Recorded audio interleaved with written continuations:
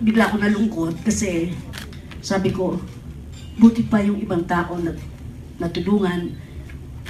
Yung kapatid ko ang hinihiling ko lang lalawin. Pero hindi nangyari. Hanggang ngayon hinihintay ko pa rin na magpakita sila sa kapatid ko.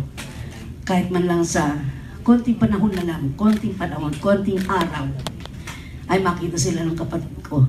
Kasi minahal sila ng kapatid ko. Lahat sila. Sorry ah, pagdating sa kapatid ko na ano ko eh. Uh, yun, yun lang po. Tapos na po yun. Wow. Thank you.